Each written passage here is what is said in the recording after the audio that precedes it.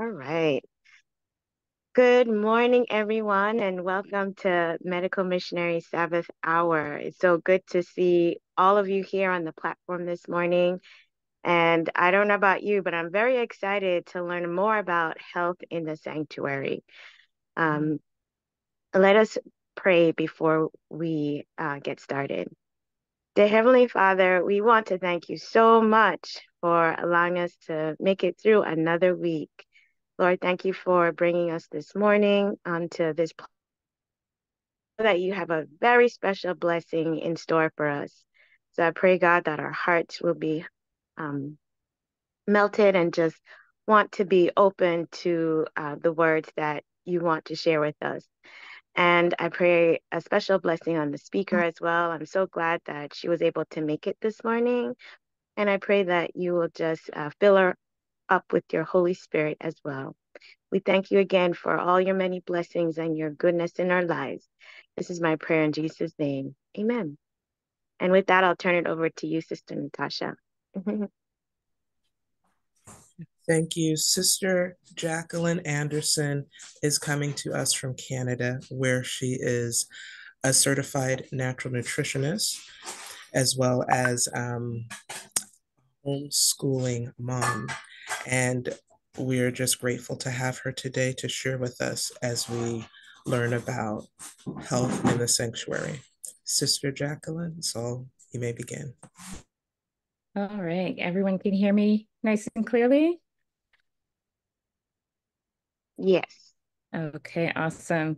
So thank you for inviting me. I am very happy to be here to share this message with you today about health in the sanctuary.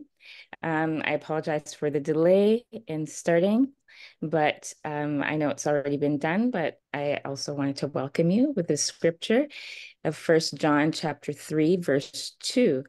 And it says, Beloved, I wish above all things that thou mayest prosper and be in health, even as thy soul prosperous. So I pray that um, we will all be able to learn something new that maybe we haven't learned before today. Um, and as we spend time learning at the feet of Jesus, I pray that there will be a blessing upon each one of us. All right, as Sister Natasha mentioned, I'm um, a wife and a mother of 20 years and a mother of four boys. I homeschool um, regularly now since the beginning of COVID, and I'm very um, happy and blessed to be able to do that. I have a background in social work and working with abused women and children, but now I currently spend more of my time focusing on nutrition and understanding more uh, the uh, call to medical missionary work. Um, I also do some volunteer work with Durham School of Health and Nutrition, where I also graduated as a certified natural nutritionist. And uh, right now, working as a nutritionist is very important to me as a calling um, to the work for the Lord and to follow his example um, because of Galatians chapter 2, verse 20, which states that he loved me and gave himself for me. So today, our agenda, um, on our agenda, we will be covering what's the connection between health and the sanctuary. How did we get here in terms of our health and the degeneration that we're seeing in mankind today? We'll talk about disease versus true health. We'll look at health through the sanctuary, the eight laws of health, God's plan and his laws. And we'll also touch on a little bit of nutrition and the plan of redemption. And we'll pick a special organ in the body that, um, excuse me, that we will try to use as an example to uh, see how the importance of nutrition and the plan of redemption come into play in maintaining a healthy lifestyle. And so, health and the sanctuary. Um, First question we might ask is what's the connection? How do we find God's ideal for health? Well, Psalms chapter 77, verse 13 says, Thy way, O God, is in the sanctuary. Who is so great a God as our God? And so we can see here that the way to find God's ideal for us in any area of our life is through his sanctuary. And we'll talk a little bit more about that later as we go along. Health is health a salvation issue? Many people might ask that question. And the answer is yes. We'll find a few scriptures in the Bible, but one in particular says Psalms is from Psalm 67, verse 2. And it says, God be merciful unto us and bless us and cause his face to shine upon us, that thy way may be known upon the earth, thy saving health among all nations. And so this scripture gives us an idea of the fact that salvation um, is important and it's connected to health. In order for God to save us, his way of saving us um, involves the health message. How's your foot? She's still having the foot problem? I calming down now. Sorry. Someone's mic is open. All right. So just to keep in mind, we will have, uh, you can have questions and answers at the end. Um, so if you do have any questions, feel free to keep them. And at the end, we will go through that, those questions that you might have. All right. So health in the sanctuary, continuing on um, and whether or not there's a connection, as we've established there is. And um, the book Counsels on Health tells us that the light God has given on health reform is for our salvation and the salvation of the world. Men and women should be informed in regard to the human habitation fitted up by our Creator and His dwelling place, over which He desires to be faithful, us to be faithful stewards these grand truths must reach the people where they are and by example and precept lead them to see the beauties of the better way. And so we can see health reform very important to our salvation because the bodies that God has given us to dwell in is also a dwelling place for Him.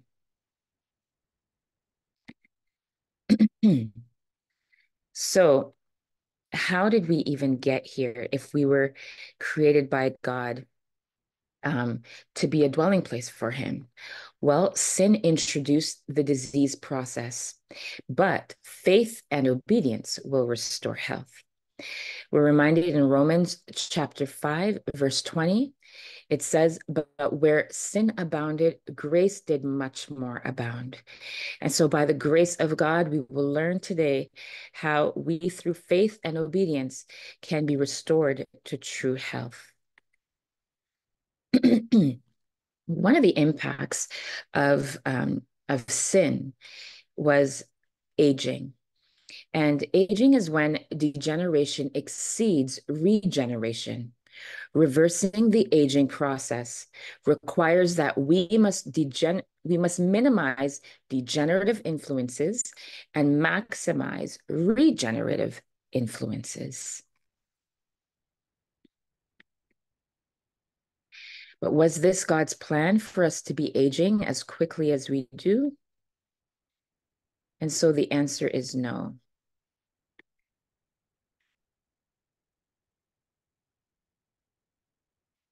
So, again, how did we get here? Well, in the beginning, man was created in the likeness of God, not only in character, but in form and feature.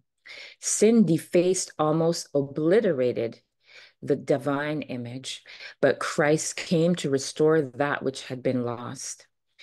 And First John 3, verse 4 reminds us that whosoever committeth sin transgresseth also the law.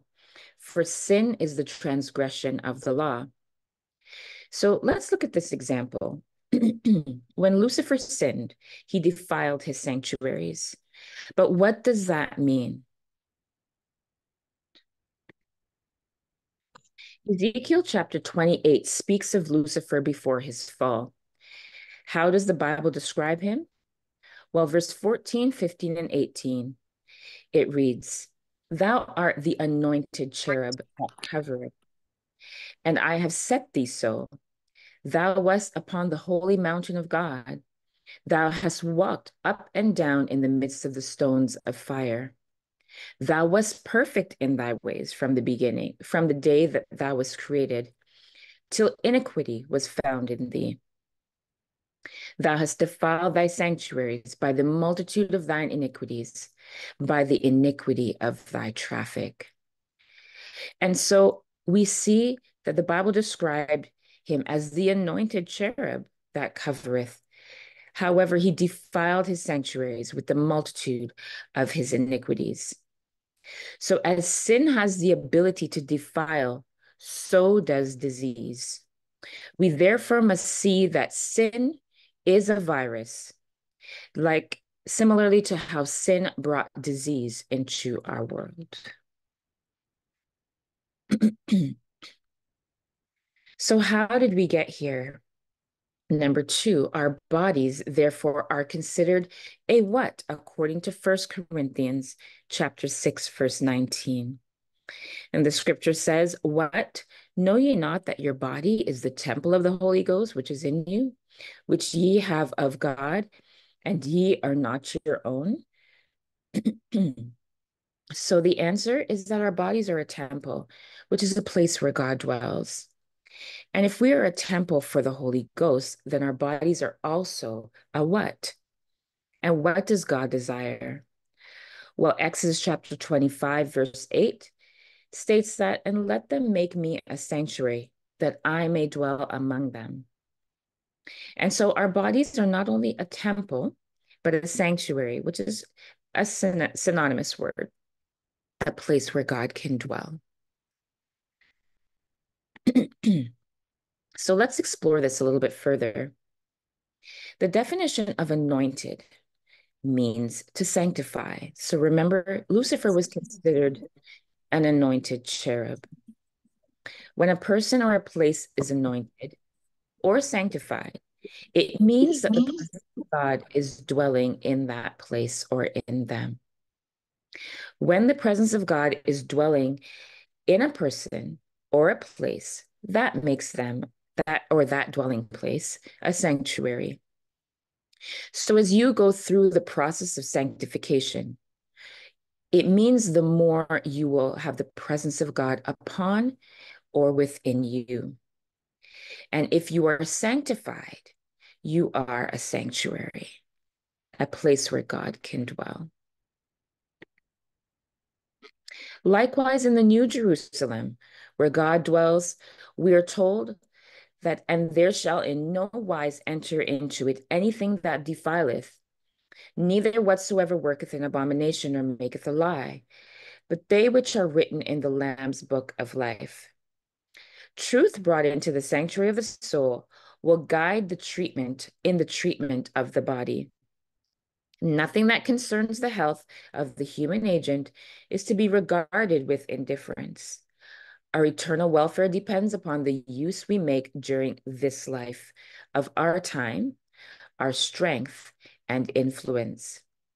There's only one lease of life that is granted us here. And the inquiry with everyone should be how can I invest my life that it may yield the greatest profit? And so again, we see that the truth of God's word brought into the soul or into the sanctuary of the soul will teach us how to guide and teach us and guide us in how we should treat our bodies. So again, we see the connection between health and our bodies, God's sanctuary.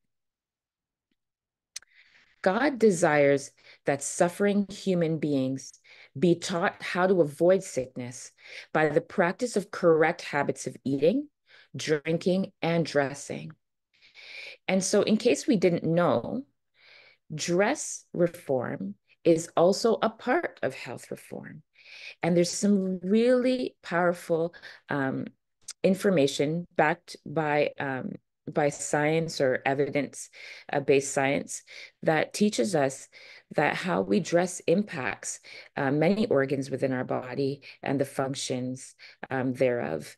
And so we can go into that another time. We probably won't be able to get to that today, but um, definitely um, dress has much to do um, with our health as well. Many are suffering under the oppressive power of sinful practices, who might be restored to health by an intelligent observance of the laws of life and health, by cooperating with Him who died, that they might have eternal life. This is the knowledge that men and women need.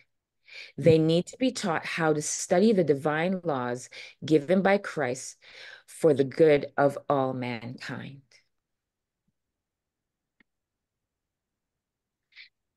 So, God's word teaches us that physical healing and spiritual restoration are joined together in his service. Bless the Lord, O my soul, and forget not all his benefits, who forgiveth all thine iniquities, who healeth all thy diseases, who redeemeth thy life from destruction, who crowneth thee with loving kindness and tender mercies so, to be restored physically, we must be restored mentally and spiritually. If you notice, this scripture shows that there is a connection between the forgiving of our sins and the healing of our diseases. What is disease? Well, book The Ministry of Healing, page 127, paragraph 1 it states that disease is an effort of nature to free the system from conditions that result from a violation of the laws of health. So, aging, for example, can be defined as a time related deterioration of the physiological functions necessary for survival and fertility. Many marvel that the human race have so degenerated physically, mentally, and morally. They do not understand that it is the violation of God's constitution and laws, and the violation of the laws of health that has produced this sad degeneracy. The transgression of God's commandments has caused his prospering hand to be removed. And so we can see again, there's a connection between keeping God's laws, which are found in his sanctuary, and a violation of the laws of health.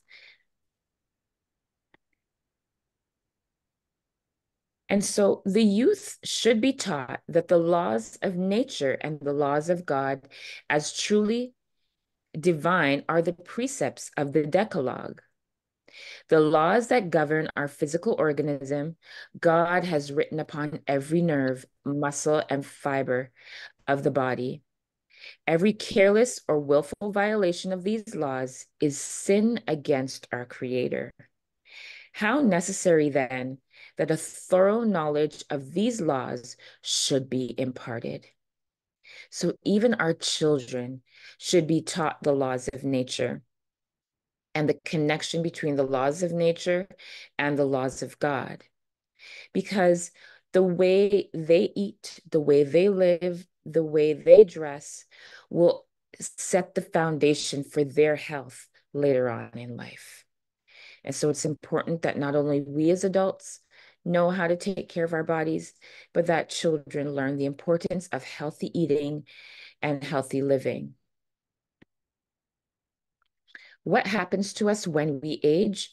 Remember, aging is a is a part of this um, the consequences of sin and disease. So when we obey natural law or the health laws, it promotes physical vigor, it strengthens mental powers, and it also strengthens moral powers.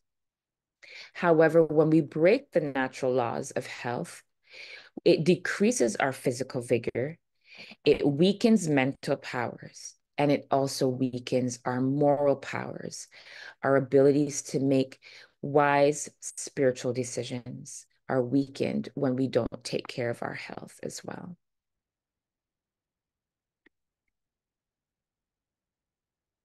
So, health and the sanctuary.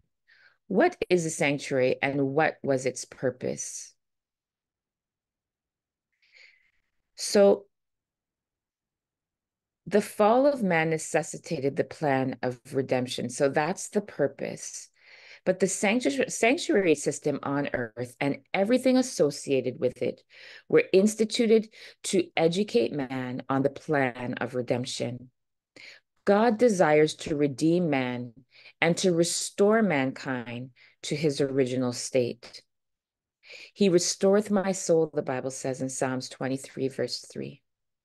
For I will restore health unto thee, and I will heal thee of thy wounds, saith the Lord. Jeremiah 30, verse 17. So today we take a deeper look at health reform, and I want to do this from the perspective of the articles of furniture within the sanctuary and what they represent within the sanctuary. When we study the sanctuary and the six articles of furniture therein, we better can understand the Bible and even prophecy. So we must note that the six articles of furniture have a practical purpose and a significance on earth, but they also have a spiritual significance in terms of the plan of salvation. And so let's look at God's plan through the um, the plan of redemption through the sanctuary. So the articles of furniture in the sanctuary are listed in this order based on the um, compartments. And so the altar of sacrifice is the first article of furniture that we find when we go into the sanctuary. The purpose here on earth was that the, the altar of sacrifice was a place where the animals were sacrificed on a daily basis. However, spiritually, it represented Christ's sacrifice for us, according to John 3, verse 16 the laver, where the priests would wash hands and feet daily before entering the temple, according to Exodus 30, verse 18 to 21, represented a place of purity and cleanliness, a place where we could find um, a cleansing, where we give our life to Christ through baptism. The golden candlesticks on earth provided light in the holy place and its spiritual represent, representation was that we also are to be a light to the world through witnessing as Christ was a light to the world in the life that he lived.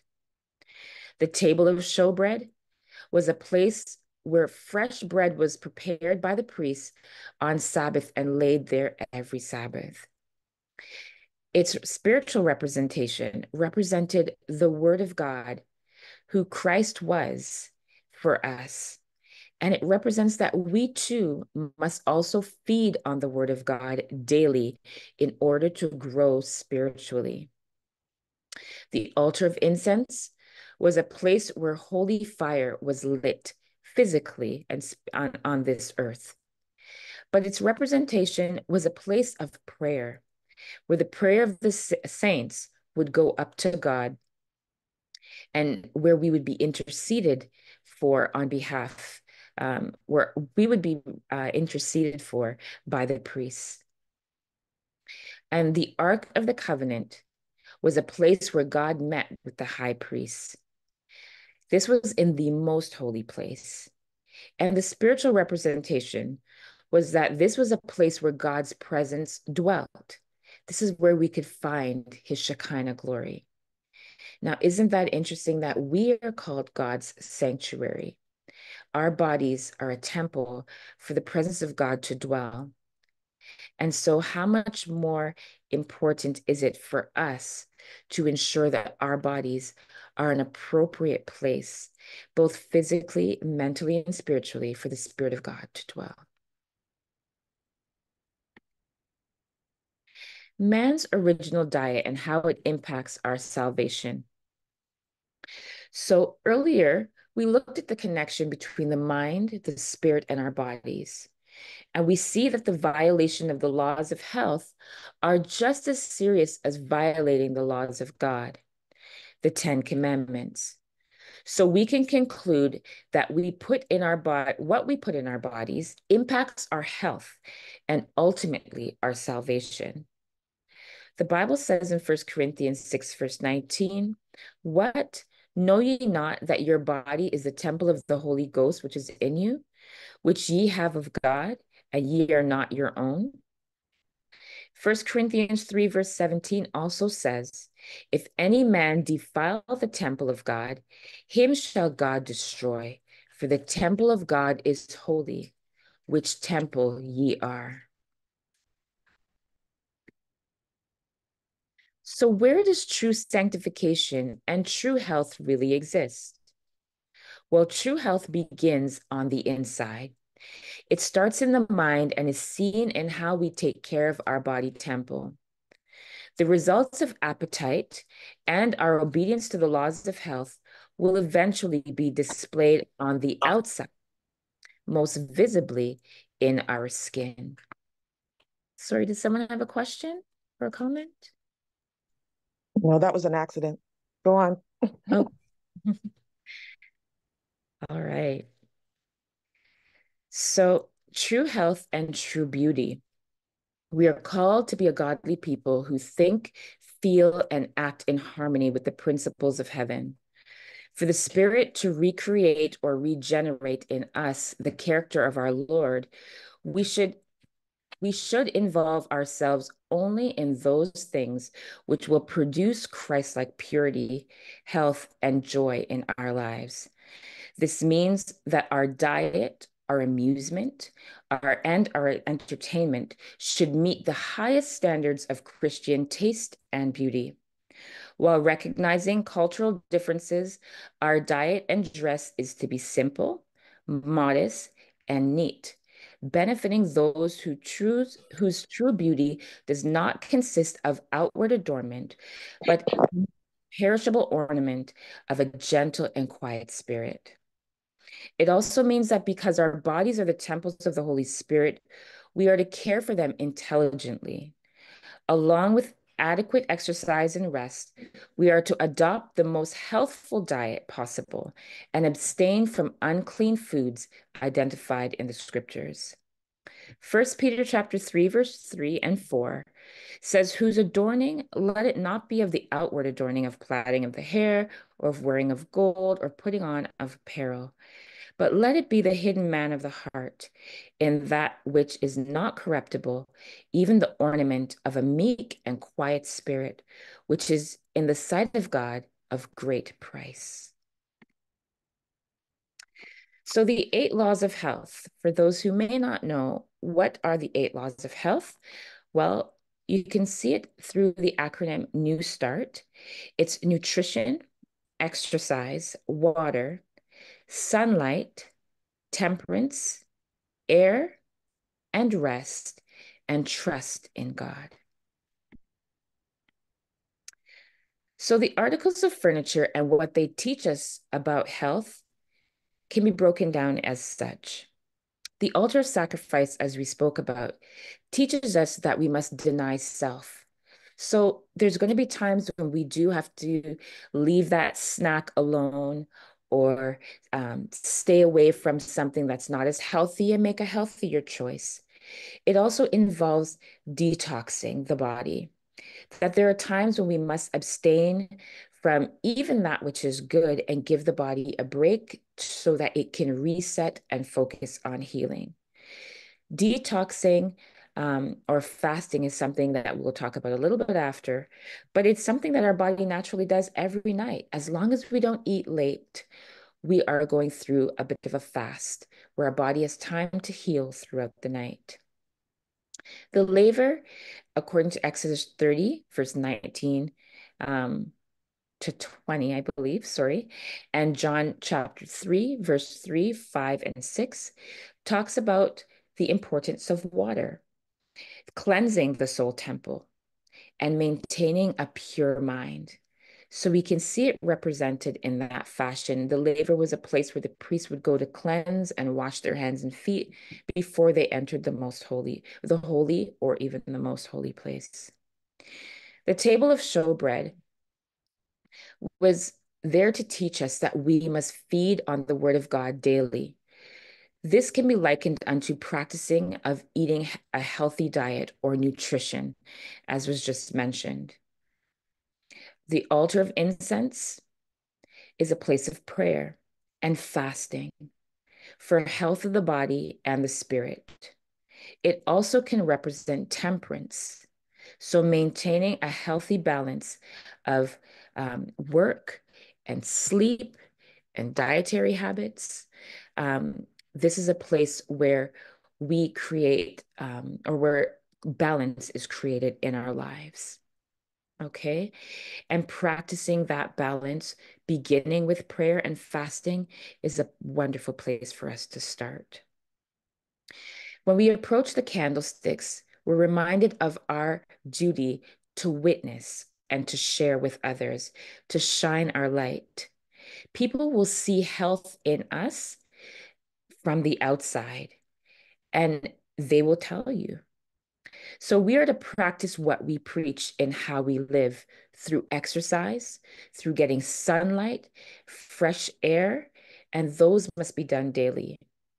Witnessing and sharing these principles with others is also essential and is a part of our Christian duty, not just telling people about the gospel, but about how we can, in a healthy way, maintain a lifestyle that is pleasing to God so that when we go to share the gospel, we're not sickly, um, but we have a testimony of God's goodness through how we've lived our lives.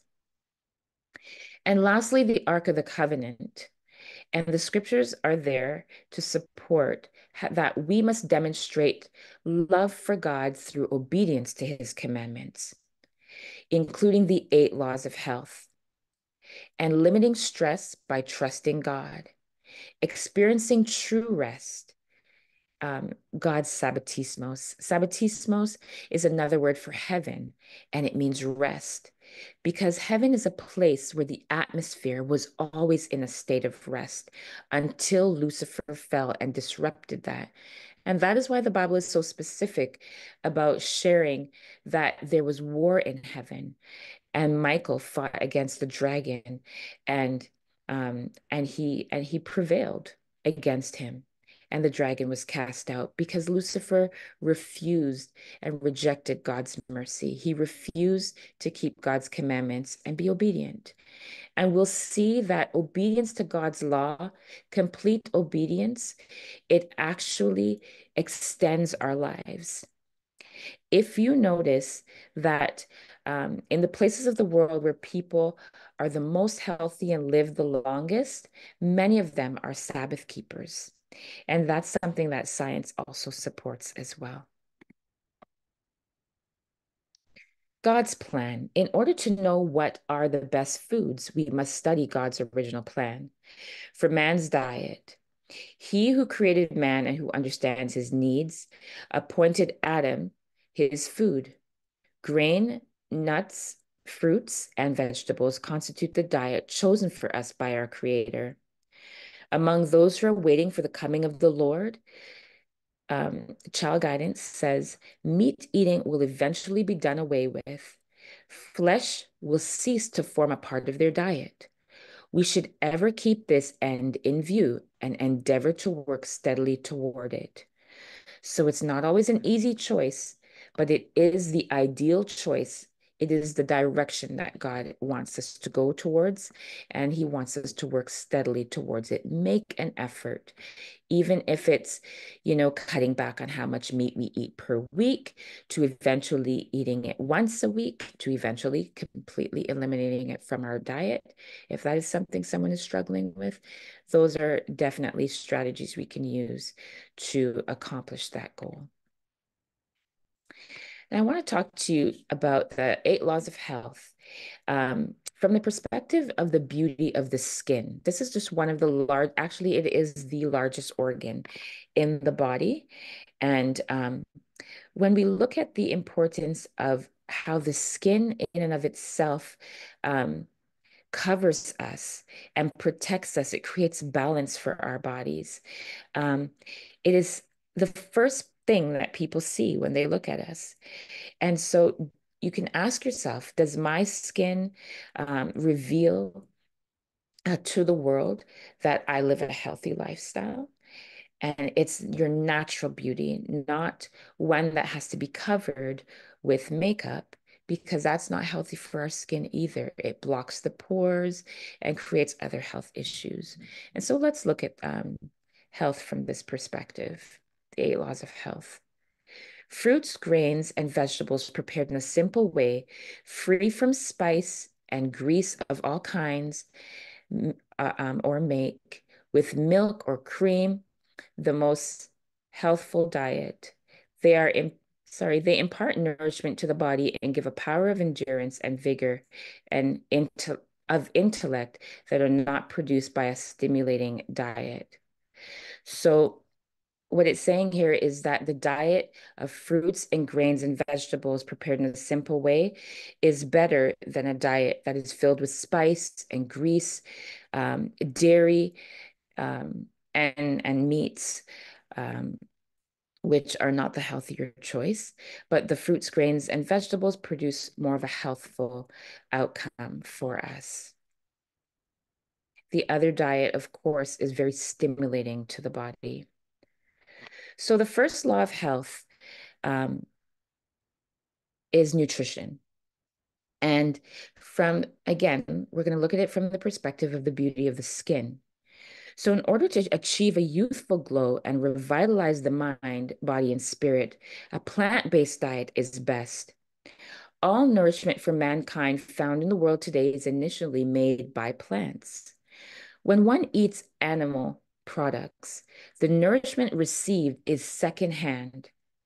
A high meat diet stimulates a rapid rate of growth, predisposing us as human beings to a shorter lifespan. So, a deviation of the original plan um, in terms of nutrition was an animal based diet. Now, Leviticus 17, verse 11, speaks to this, and it says that for the life of the flesh is in the blood. Ever wonder why you seem to have more energy when eating a flesh based diet?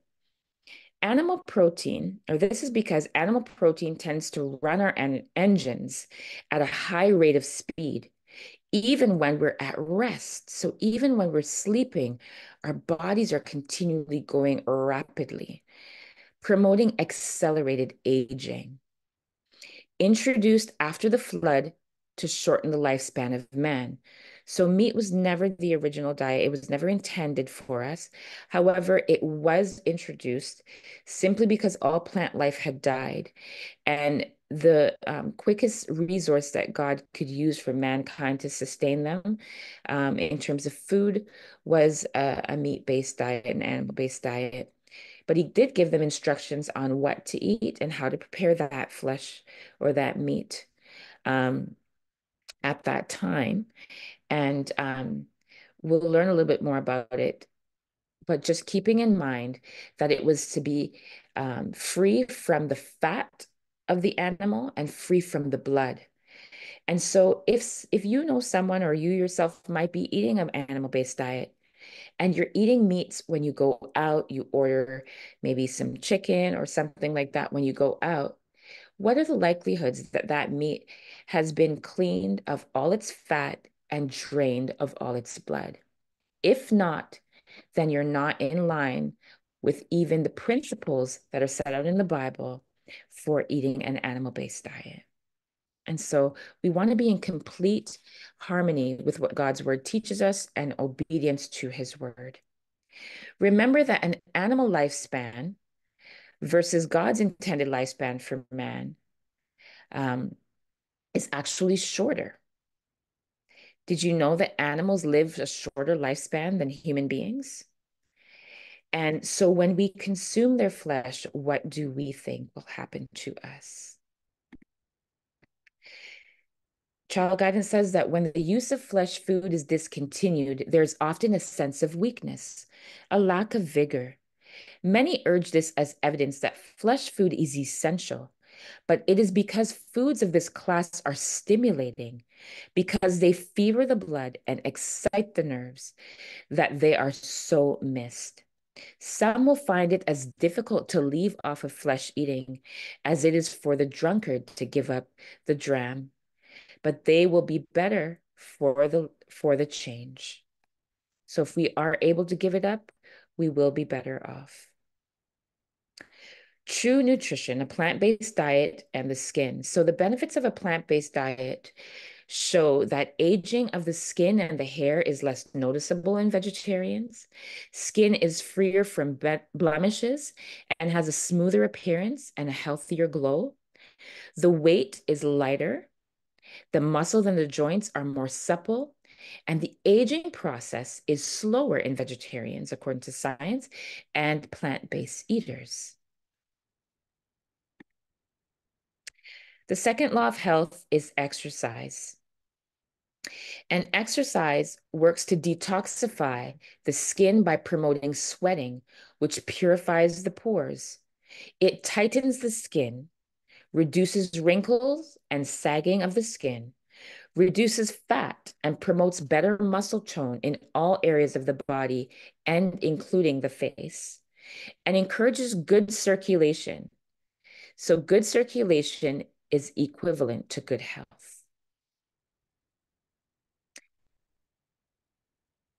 Health law number three is about water. Water is absolutely necessary to maintaining a good skin. Why? Because your body is about 60 to 70% water. It helps to detox and eliminate by eliminating toxins through urine, also through sweat, um, it cleanses through daily baths or showers.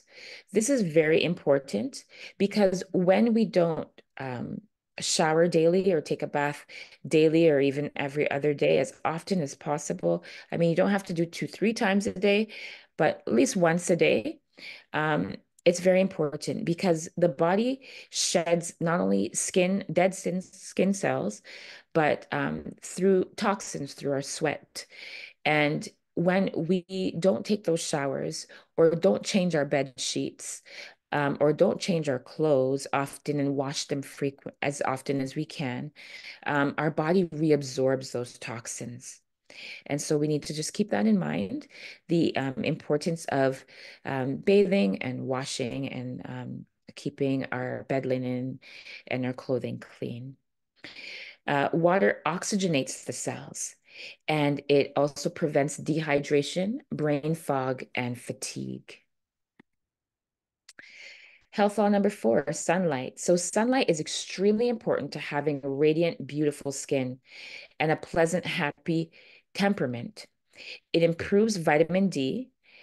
Um, it encourages youthful glow. It improves mood and revitalizes the body by providing energy. Even getting sun in the winter is needed in colder climates. And we really only need to expose our hands and our face um, to get the equivalent amount of sun that our body needs. The lighter the skin, the less time in the sun you need. The darker the skin, a little more time. And usually it's about 15 minutes for those who are Caucasian. And those who have much darker skin, you need maybe about 30 to 45 minutes of sunlight exposure per day. Health law number five, temperance. So, as we mentioned before, temperance impacts our beauty inside and out, in our moods and also in our appearance. It shows how we are taking care of ourselves. So, that includes a work life balance. So, not overworking, killing ourselves with three, four shifts um, in a row and not getting any sleep. It's um, important to get enough sleep, um, at least eight hours a day. Um, and we must be in bed at least by nine, 10 the latest um, every night because our body goes through a reset the first three hours of the night um, for our uh, physically. So for physical healing and rejuvenation, we need to be in bed by 9, 10 the latest. And after midnight, our body starts to go through um, mental, uh, mental rejuvenation thereafter. So those first few hours after midnight, um, is when our mind goes through the detox. So if we miss those uh, first few hours at night, we're going to our bed at midnight one o'clock, we're losing out on getting that physical healing. And especially if we're suffering from certain ailments, our body's going to miss out on that. We have to remember um, not to overwork and to prevent burnout. Just know your limits. Know when your body is giving you a message. Your body will tell you. So just listen to your body. And the question is can you think of any other areas in our life or ways that we are being intemperate? Health law number six fresh air. Fresh air revitalizes the skin by providing oxygen to the brain and the cells of the body. Cool air tightens and closes the pores, while warm air opens the pores. Breathing fresh air promotes the healthy exchanges of gases in the body, removing the carbon dioxide and toxins trapped in the lungs. So, getting that fresh air is very important, especially when we practice breathing in and out through the nose um, and not so much through the mouth, simply because we will um, create an imbalance because our nose will only pull in so much and exhale so much. And that's a perfect balance. Whereas when we breathe in through our nose and out through our mouth, there's too much air being lost. And then there's a little slight imbalance. And so we want to make sure that there's a perfect balance when we're breathing. Health law number seven is rest. So, what happens when we don't get rest and why um, should we get proper sleep? Well, the effects that we're seeing on the outside is we'll look tired, we'll feel old, and there will be more aches and pains in return. Sleep is very important, and I think it's underestimated. But rest is necessary for healing, as was mentioned before. It re energizes the body and recharges the brain. It also promotes clarity of mind. Our last health law is trust in God. So, trust in God is essential to aging gracefully. Without spending time in prayer and meditation at least twice per day, we starve the spirit of its necessary food to sustain optimal spiritual health. And as you may know, we should eat a minimum of two meals a day, maximum three. If you're doing a physical type of job daily, then three meals is okay. Um, but two meals is really all we need because we want to ensure that we have enough time in between to get our water in. And sometimes we don't space our meals out enough. There's a minimum of four to five hours between meals that is required at the two hour mark after a meal and before the next is when we should really start drinking all that water and getting it in up to about half hour before our next meal. And if we're eating too often, if we're frequently snacking, we won't have enough time for water because we should not be eating and drinking at the same time. So, trusting in God will help. Uh, similarly, um, having that two to- two times a day of prayer time of devotional time with god if we're not getting that in minimum um, we will starve the spirit as though you're starving your own body of physical food. Um, daniel prayed three times a day. If we're able to stop in the middle of the day for prayer that's even better for us. Until we get to the place where we are walking and talking with god consistently. Um, so we learn that this type of lifestyle um, is necessary food to sustain optimal spiritual health, and it's a buffer to stress and helps to counteract its aging effects on the skin. It removes worry and doubt and fear. And Ministry of Healing, page 128, in summary, says that nearly for nearly 6,000 years, this world has been on exhibit before the universe. The prevalence of degeneracy and disease in the human race today demonstrate the sure result of disobedience to God's law. A decline in the physical, mental, and spiritual powers. Whatever injures the health not only lessens physical vigor, but tends to weaken the mental and moral powers. So we can see that there is a connection between our health physically and our mind and spirit as it relates to both character development and our connection to Christ. A pure, healthy life is most favorable for the perfection of Christian character and for the development of the powers of the mind and body. Many who are now half converted on the question of meat eating will go from God's people to walk no more with them. Far better give up the name of a Christian than make a profession and at the same time indulge appetites which strengthen unholy passions. God calls for a decided reformation. And so I pray that this information uh, was a blessing to you. Um, if we're able to maybe do a part two, we can talk more about the health laws in detail and diet through the sanctuary, just more specifically what that looks like. But in conclusion, the scripture reminds us that I delight to do thy will, O my God. Yea, thy law is within my heart. Psalms 40, verse 8. The capacity for spiritual growth increases as God's laws of health are practiced in our daily life. But the so Second Peter chapter 3 verse 18 then encourages us to grow in grace and in the knowledge of our Lord and Savior Jesus Christ. And that is the end of my presentation. Wonderful. Wonderful. Thank you, Sister Jacqueline. That was very informative. Um, a lot of good research that was presented. And I like, you know, how you made the connection between the sanctuary and our health. Um, mm-hmm. I'd like to open it up for any questions for Sister Jacqueline. Any thoughts or comments? Great job, Jackie. Thank you, Jasmine. uh, iPhone Natasha. Hi, Natasha. Uh, go ahead and ask your question if your hand is raised. Oops. Hi, can okay. you hear me now? Can you hear me? Yes. yes. Okay, hi. So it's Natasha from Canada. I just want to say thank you for this presentation. Um, and I am looking forward to part two. I do have a question about the skin. You said like the sagging of the skin. Um, exercise. Can you just maybe repeat that, what you said about exercise and oxygen?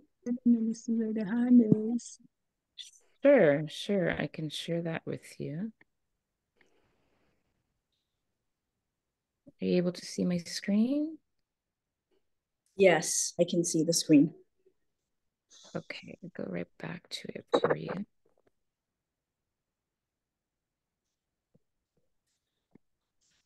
Okay, so with exercise, um, it just helps to promote sweating um, and detoxing. And so it helps to open up the pores so that the toxins can get out. Um, when we exercise, um, our bodies, um, it allows our bodies to tighten the skin, which. In essence then reduces the wrinkles and any sagging that might be occurring in different areas of our body. Um, it reduces the fat, promotes better muscle tone and areas of the body, including the face and encourages great circulation. So when we exercise, um, blood moves from our internal organs to our external organs, um, like the skin, and to the muscles, um, those organs that are required um, for for movement and for flexibility and so when you see that flushed look on someone who's been working out it's yeah. actually very good because the blood is now doing its exchange. It's moving the um, it's removing the dead cells and any toxins from the um, underneath the skin and sending good nourishment to the skin as well as oxygen through the blood to um, to the surface of our skin. So the blood starts pumping a lot faster, the pores are opening, the, you know, all that exchange is happening. Exercise is amazing. Um, not just for for looking good and getting into great shape, but um, promoting healthy skin, reducing wrinkles, sagging, and things like that. Okay, and I just have a quick question about the exercise. As opposed, mm-hmm. there's you know we're God's people, um, yeah. and you know the world. We there's so many. There's like I mean everyone's joined at a gym. Not everyone, but mm-hmm. you know. Um, so I don't necessarily have to join a gym, right? A brisk walk, like if you follow what it says in Spirit of Prophecy for exercise, that should be good enough. Oh yeah, um, right? I I encourage and promote um, whatever you're able to do. Um, refraining from exercises um, that involve spiritualism. Right. And you can do your own research and dig into that a little bit more. Things like yoga, um, Pilates, those things have a spiritual connection to them that we're encouraged to kind of stay away from or to stay away from. Um, but you also don't want to do too much vigorous exercise. It's not always the best for the joints. Right. However, getting cardio in there. So if you go for a walk, it should be yeah a brisk walk. Um, if you're able to, you got good knees. You can do in the winter. You can do up and down your stairs. Right. Um, stretching in your own home if you've got an exercise mat is really good. Um, you know, um, the ex the gym environment is not the best. Exercising in open air is the best for you. Right. Um, I with, agree. With your own body weight as resistance, as opposed to um, artificial weights, um, wherever possible, whenever possible. Um, right. Find men, for example, who do construction and tougher jobs where it requires them to lift heavier deal, great deals of weight um, move equipment or um, lift heavy things um, may require um, exercises that involve lifting weights. Um, right. That also should be moderate and and maintained, um, maintain a, a, healthy balance in terms of what they're lifting and what they're doing with their bodies.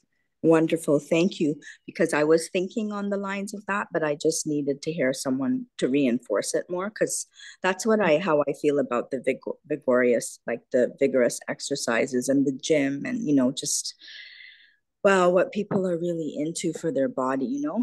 So like i mean i'm talking about people in the world and um you know they're just you know they don't know enough about health and that's where i i ask god to help me to help others. But um yeah thank you because i live close to the lake and i go up uh, now as the weather's getting nicer i like to walk up by the lake. Um yeah so thank you so much for this for this um, presentation and this information you shared. Um, I, I never heard of Pilates. Like, what is a Pilates? I believe it's a form of exercise similar to yoga. It involves a lot of a lot more stretching. Right. Um, and there's different things. I, I, mean, it's it's something that you definitely can look up. Um, I don't have a whole lot of detail on it, but I understand that it somehow is connected to spiritualism. Um, but correct me if I'm wrong next time I come, if you find anything different. But um, that is what I've been um, privy to. Thank, Thank you so Thank you, Sister Natasha and Sister Jackie. So the next person is Colleen. Feel free to unmute your mic and ask your question. Thank you for the opportunity. Thank you, Jacqueline, for the beautiful presentation. Um, I'm I'm an athlete, and when I became a medical missionary, I mm-hmm. started on a plant-based um, diet. Mm-hmm. Yeah, but yeah, that, but that's when I started having some challenges. Uh, firstly, I lost a lot of weight when I stopped eating meat. And uh, when it comes to the skin, the more I lost weight, the my skin was becoming saggy, although I was eating um, plant based, I was eating a good diet. And um, uh, uh so, so as time went on, I started having problems with my one of my knees. My, my, my left knee started giving me problems. And um, I tried uh, uh, uh, poultices, natural ways, uh, and you know, hoping to have that knee healed until I couldn't resist it anymore. And I went to see a medical doctor. And I was told that I have nutrients deficiency. Mm-hmm. So uh, she prescribed some um, uh, uh, supplements for me, although I, I emphasize that I would love to have uh, something that is uh, close to natural as much as possible. Mm-hmm. Um, so yeah, as a natural nutrition, nutritionist, nutritionist, uh, Jacqueline, um, do you think that if you're an athlete, or even if you are on a plant-based diet, there is a particular or special nutrition that you you must uh, have, or you, you, must have a different uh, plan when it comes to nutrition, because uh, you, you you you you demand more from your, your body.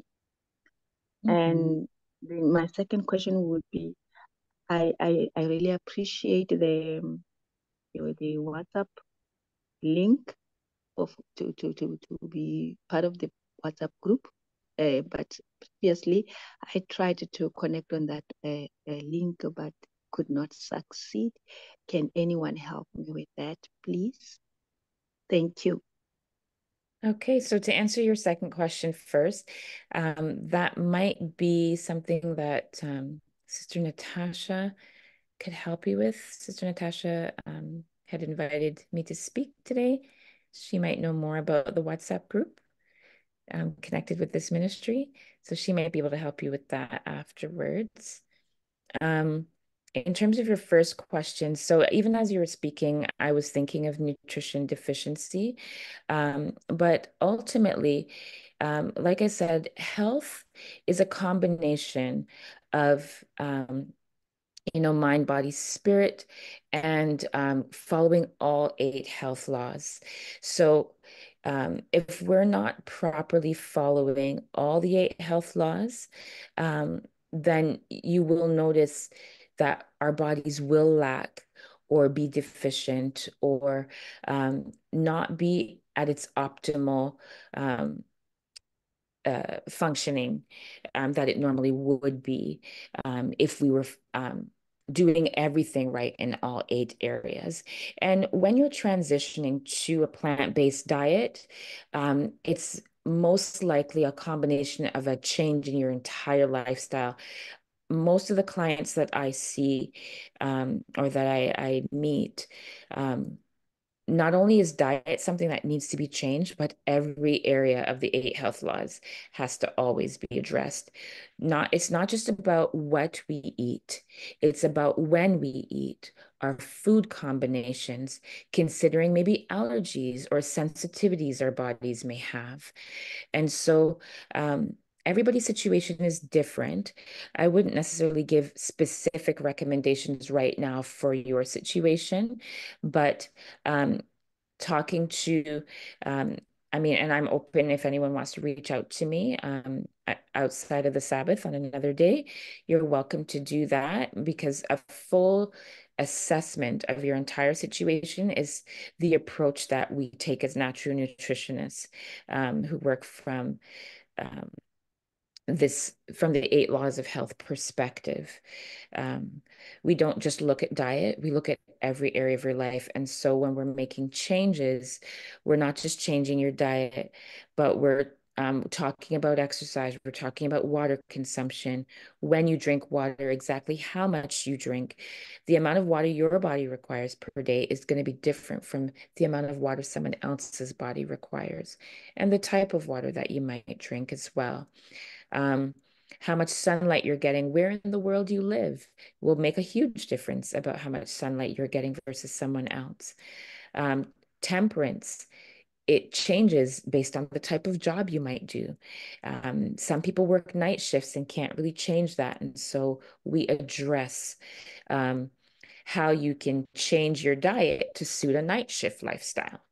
Um, how you can change your sleep patterns to uh, suit a night shift lifestyle, to ensure that your body is regulated, is feeling that balance and the benefits of the balance. Um, so I hope that helps. I know it may have been a bit of a beat around way of answering your question, but um, to to give recommendations specifically, I'd have to talk to you one on one but definitely there is a way to eat and a time to eat and an amount to eat. It's Likewise with exercise, water, air, everything that we discussed today. So hopefully that helps. Wonderful. Thank you for that response, Sister Jacqueline.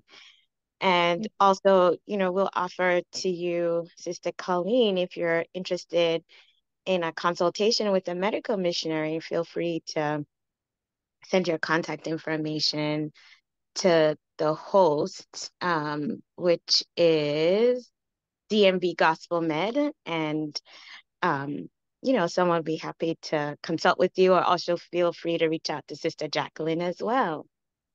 Awesome. Mm -hmm. So we'll mm-hmm. take the last question, and that will be from Sister Shirley. So go ahead, Sister Shirley. Thank you. I just wanted I know Jackie will know this face. I just, I don't have any questions, but I certainly am so very happy that I heard this. And I want you all to know that Jackie and I go to the same church. So I know what questions I can ask when I'm ready to ask questions. But thank you so much. God bless you in everything that you do. It's a good presentation. Praise happy Sabbath. Have a happy Sabbath. Amen. It was. Wonderful, wonderful. Yes, I echo Sister Shirley's um, encouragement as well. And just thank everyone for being on this morning or wherever you are in the world. It could be afternoon. Mm-hmm. A special blessing on our speaker as well, uh, Sister Jacqueline. Uh, blessing on you and your family. So thanks again. So we'll I'll turn it over now to uh, Sister Natasha to close us out in prayer. Natasha in Maryland, not Natasha in Canada.